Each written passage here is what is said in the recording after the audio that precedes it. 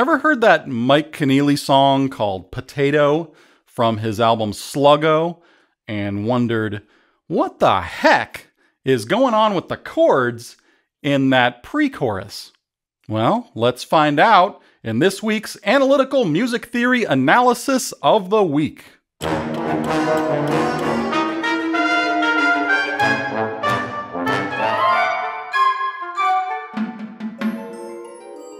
By the way, this is a segment from the Carl King podcast. So if you enjoy this show, remember to like and subscribe and send us burritos. This week's analytical music theory analysis of the week is Potato by Mike Keneally from his 1997 album Sluggo. And we're going to examine what I'm calling the pre chorus, which I consider to be 2.5 bars long or two bars of 4 4 and one bar of 2 4. On the surface, this is a fun, light-hearted, straightforward pop song. It's got catchy diatonic verses and a mandatory sing along chorus. But in between, there's a pre chorus with a sequence of tense chords. And it reminds me a bit of what he did with those non diatonic chords on his song Live in Japan, from the album Dancing. So I decided I need to understand what the heck is going on.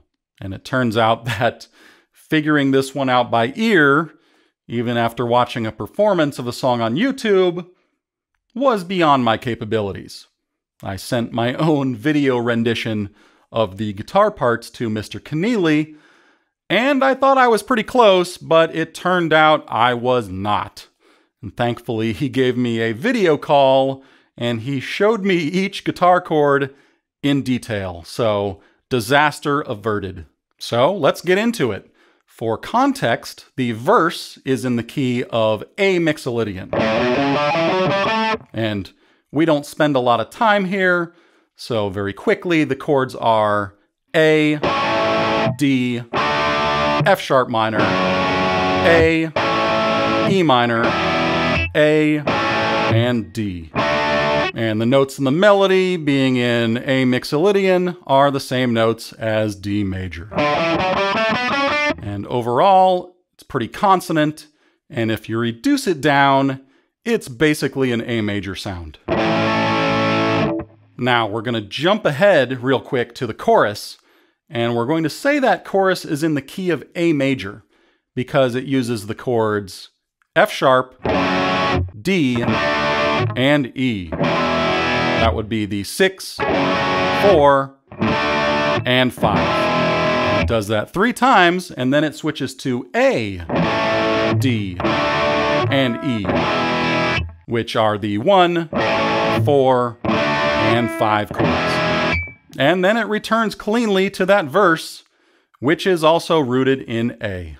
And that's just so you understand that the verse and chorus are both very tonal. And aside from that little mixolydian flavor in the verse, it's total pop songwriting. But in between those two slices of white bread is some stinky cheese. And this pre chorus doesn't seem to be in a single diatonic key because what chords do we have here? We've got C over B, B minor 7, G5, and then B flat, C over B flat, A over G, D over E, and then E over D. So if you collected all of the notes from that sequence and make a scale out of them, you'd have a 10 note scale going C, D, E, F, F sharp, G, G sharp, A, B flat, and B. So if it had a C sharp and a D sharp, it would be fully chromatic. Anyway, that's all to say that there's no way this is in a single diatonic key. Now let's look at those chords. Most of them are slash chords, and in this case, it's putting a non chord tone in the bass. Measure 1 starts with a C over B, which is mysterious and tense sounding. And when he showed it to me, I immediately said, Ah, that Phrygian thing. But it's not an easy chord to play on the guitar. He's playing a C bar chord at the 8th fret, but dropping the bar down to the 7th fret. And then he moves down to a B minor 7 at the 7th fret.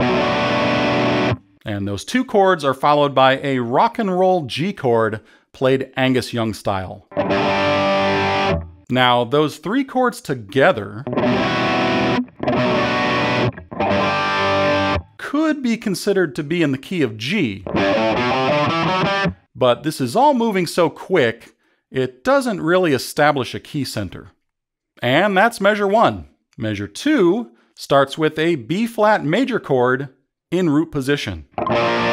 There's a little bass voice movement with the notes F and E happening there under it. The F would be a 5, and the E would be a sharp 4.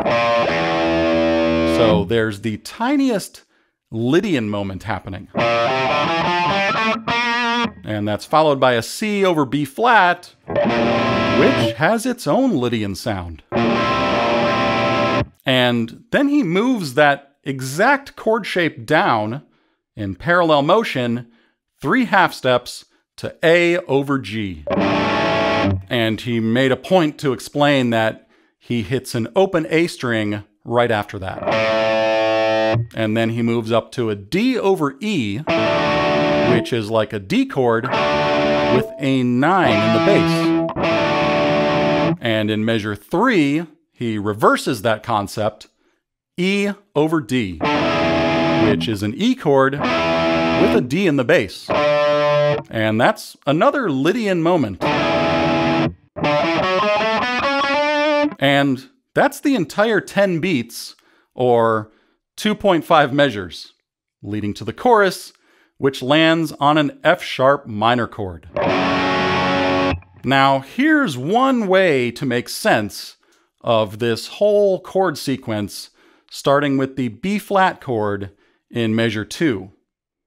That B flat, with that little F bass motion, and C chord, could be outlining the 4, 1, 5 in F.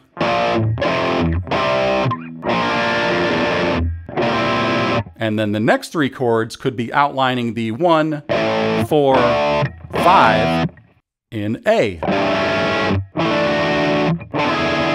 If you remove the bass notes, the triads on top are A, D, and E. 145.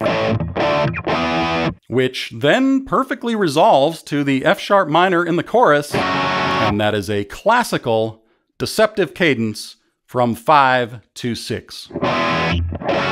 And I have none idea if this is what Keneally was thinking, but I hope to have him on the podcast soon, and I will be sure to ask him about it.